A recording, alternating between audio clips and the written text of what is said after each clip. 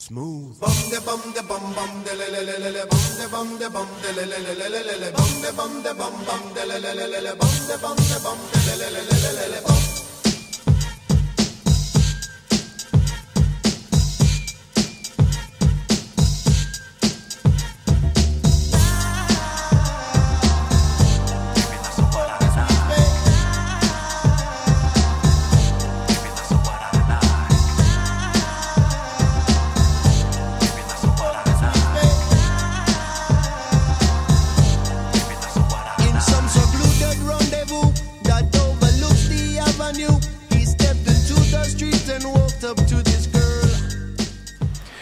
Hello and welcome to another edition of the Stogie Review video review. I am Walt White and uh, back once again for another weekly cigar review. Uh, this week I have uh, something a little different. Uh, it's it's actually a house blend. It's the Don Ramon. If I can get it to focus in on the camera. This is a product of uh, Camacho Cigars, which is made for H.J. Bailey. Now, H.J. Bailey, I seems as though they're a, they're a major online retailer which does uh, wholesale stuff. Uh, a lot of uh, you know cigarettes, rolling papers, uh, premium cigars, a variety of different things. Now, this particular cigar is, uh, as I mentioned, it's made by Camacho Cigars. Uh, this is the Maduro. There's also a natural available. This happens to be a Robusto. It's a 5x50. And I don't have a, a whole lot of information about the, the, brand, the brand. I'm going by uh, one other review that I came across, as well as uh, the H.J. Bailey website for just generic information. Now, it seems as though there are four, five, four, five, one, two, three, four uh, sizes of the Maduro. There's a, a Churchill, which is a 48 by 7. There's a Robusto 5 by 50. There's a 660, which is a 60 ring gauge with a 6 inch length. And there's a Toro, which is a 50 by 6. Now, prices vary a little bit. Uh, boxes come uh, packaged 25 cigars per, and they should run about $80 a piece for the Robusto. And uh, with that said, I actually should have cut my cigar while I was talking. But it makes it kind of tough. Seeing as I was preoccupied looking up the cigar information. Anyway, the computer's acting up a little bit, but I'm to go ahead and clip my cigar with my cigar scissors. Nothing unusual there. Uh, the the appearance of the cigar is kind of dry. Now I know these are not dry, but they just they look very dried out. Um, they're a little pliable, you know, which tells me that they're properly humidified. But just the way they look, I mean, the, wrapper itself just looks very dry.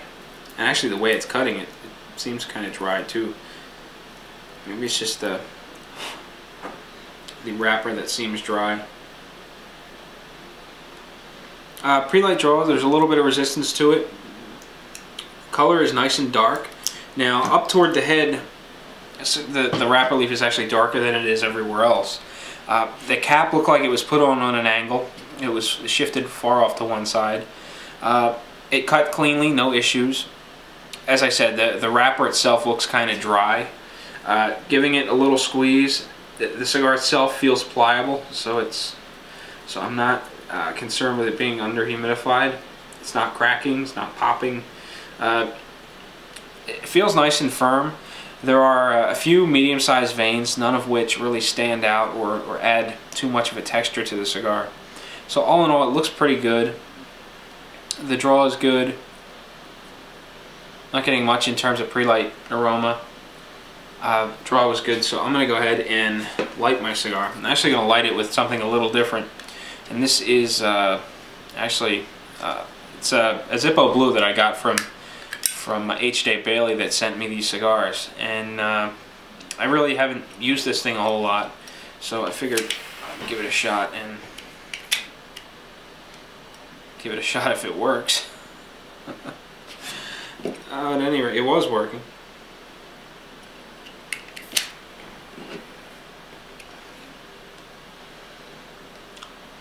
Wow. Anyway, there should be a blooper reel. I wasn't expecting that. I'm sure it'll work as soon as I can turn it up. Uh, but for the meantime, I'm going to go ahead and use a just a standard torch and uh, get the cigar going. And then I'll play around with the lighter a little bit and give you my opinion of it. Uh, because I do have an opinion of it.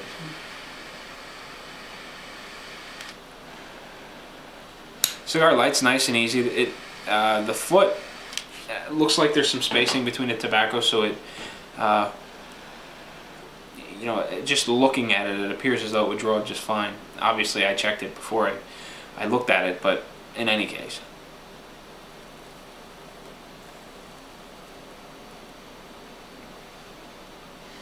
Alright, I got my cigar lit. And uh, so, there you have it. The introduction. Not, not a whole lot to tell you about the cigar.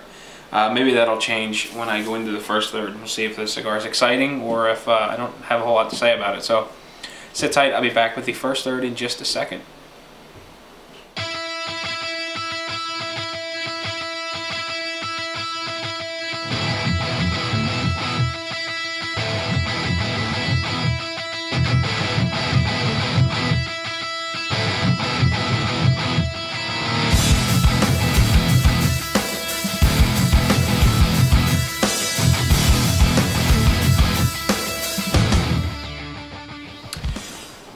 Welcome back. I'm plugging along on my Don Ramon Maduro. It's uh, been about a half an hour now, and as you can see, whether or not it will focus is a different story, is that uh, the ash is nice and compact. The burn line is, is thin, it's even. I mean, it, there's a little bit of waviness to it, but uh, you know, you really can't ask for a whole lot better than that and, and, and be reasonable. I mean, it, it's not very common that you get a razor sharp burn. And uh, I think this one looks pretty good. There's a little bit of wave to it. Not a problem. It's very thin, crisp. The ash is holding uh, a nice tight shape. Uh, it lasts for about an inch and then uh, takes a, a, firm tap to knock it off the cigar. So uh, as far as the burn goes, uh, no problems at all. I'm very happy with the cigar. produces a good amount of smoke. It's nice and dense. easy to get through the sinuses.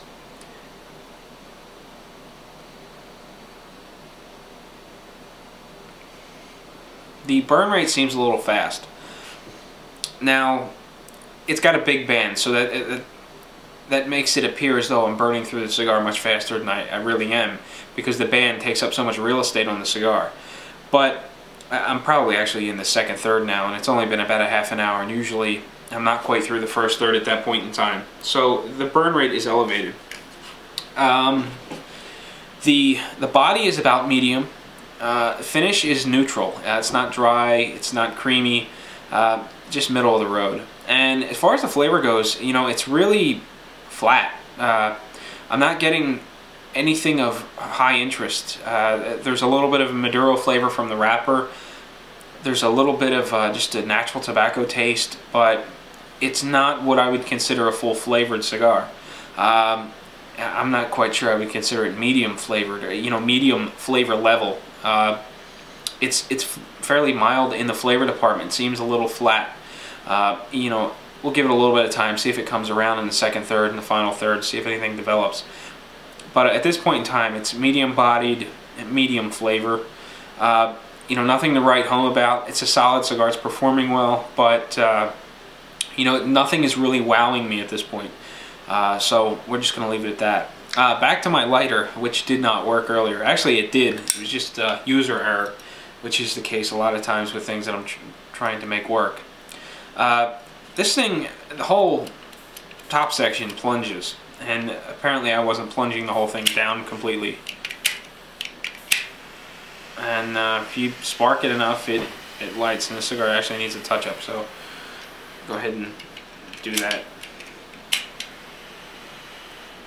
Course, this lighter's gonna make a fool out of me. Uh, I'm not I'm not crazy about the, the lighter itself. Uh, it, it, looks good. I like the sticker and the the engraving on the back, the H.J. Bailey logo and stuff. Uh, it's very coarse on your thumb, and I realize flint wheels tend to be because the, you know they're they're creating a spark across uh, you know the flint or this this wheel is coarse. But you know it's kind of uncomfortable, and you know you're you're sparking the lighter, and you're and you've got to push everything down, and uh, you know for the life of me, I don't see a fuel adjustment knob on this. There's a fill valve, which Doesn't look like it has any uh, turning apparatus in it. And there's uh, what looks like a little rivet, and you know, aside from that, I don't see anything to fill it. Now, I've only used this thing half a dozen times since I got it. I mean, it could be the fact that it's low in butane, but we really expect it to last much longer than that. So, give it another go, see what happens. Yeah, I'm not. This cigar, this lighter is not very comfortable. It sort of irritates my thumb. Granted, I guess after you generate calluses, you won't have to worry about it anymore. But uh, it's working.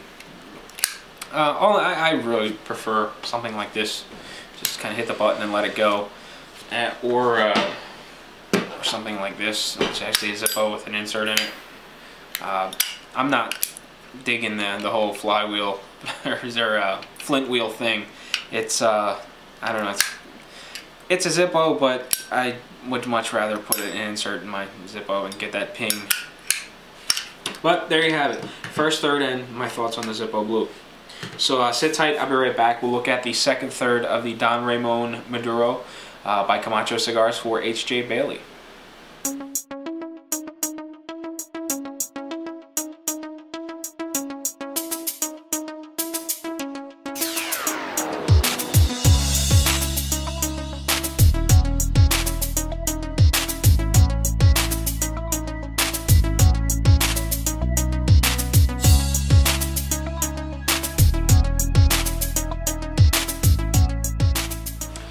Well, welcome back. It's been about 20 minutes since the last time I was uh, on camera, and uh, everything's going uh, just as I would hope. Uh, burn is is on par with uh, where it should be. Burn rate still seems a little elevated, but it's smoking well, uh, draws well, produces a, a, good volume of smoke.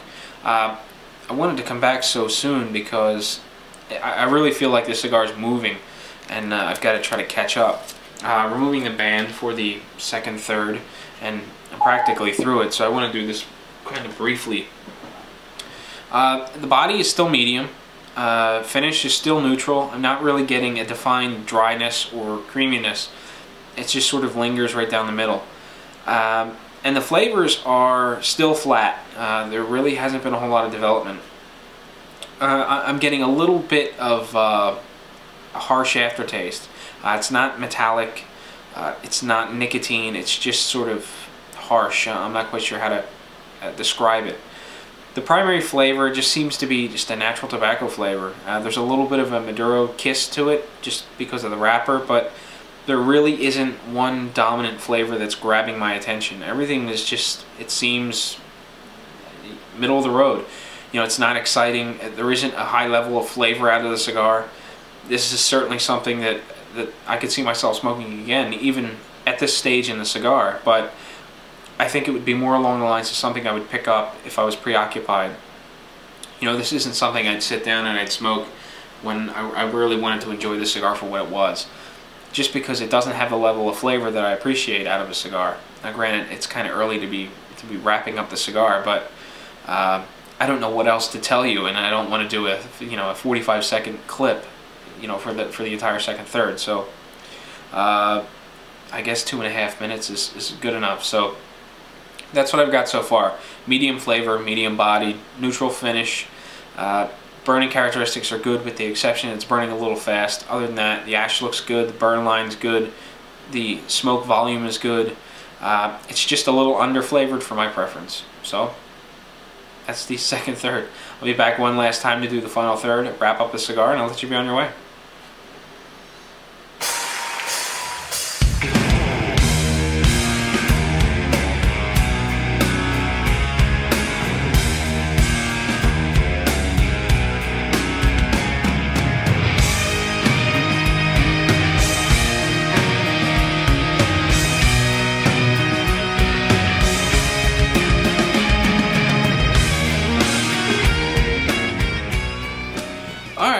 I'm back, and it's about time to wrap up my Don Ramon uh, Maduro. It's been almost an hour and a half now. Uh, I'm finally hitting that last stretch of cigar. Uh, the burn's pretty good. Uh, it's a little, uh, it's a little uneven at this point, but uh, it's something I think will correct itself. I just ashed a cigar just a few minutes ago. And uh, just like before, I think as soon as the ash begins to develop, everything will straighten out and it will be burning properly. Uh, the draw is, is fairly loose. I mean, there's just a little bit of resistance to it, very free. Uh, as a result, the cigar is beginning to get a little warm, and you know that brings a little bit of harshness along with it. You just need to space out your puffs a little bit. Uh, the body is picked up a little bit. It's a little bit closer to, to uh, medium to full, but it's still more or less medium. The finish is transitioning more towards creamy now, and the flavor is just finally starting to come alive. It's a little unfortunate that it comes this late in the game because uh, I don't have a whole lot of cigar left to really enjoy and it was a whole lot of flat flavor up until now. Uh, at this point, I'm getting those rich Maduro flavors, you know, the ones that you expect out of a Maduro cigar. I'm getting like uh, heavy roasted, dark, you know, black coffee. Uh, I'm getting some bitter chocolate as well. As soon as those flavors begin to subside, I'm getting that, that comfortable natural tobacco flavor that I was getting earlier on as more of an aftertaste at this point. So you get these rich flavors and then it transitions to a neutral flavor and then sort of fades out. Uh, the, the flavor at this point is, is what I would consider to be full flavored. Uh, up until now it was fairly flat. I mean, I mean, it just wasn't a very flavorful cigar. You know, I, the impression I was getting out of this was that it was uh, a Camacho, it was, it was almost like a second-rate Camacho product. You were getting you know the the body, the texture of the of the Camacho smoke. You're getting the you know the construction of a Camacho smoke, but it lacked that flavor that that comes with the Camacho name. And finally, now it's beginning to pick up. I think if it, I would enjoy the cigar a whole lot more if I could get that flavor most of the way through, or maybe if it transitioned sort of late in the first third, I could I could be very happy with the cigar. But you know, I just think I, I just think it's very mediocre uh, all in all, even with the transition and, and the good flavors now, I just think it's too little too late and it's it's a mediocre cigar. It's not bad, it's not anything to write home about, it's not exciting, doesn't make me want to run out and buy a box. It's, it's a solid cigar, burns well, performs well. Maybe someone that doesn't like those very full flavors will find this much more enjoyable than I have, but uh, my, my flavor preference or my taste preference is geared more towards cigars that are medium to medium to full with lots of flavor. I like a full flavored cigar. And this one was kind of lackluster.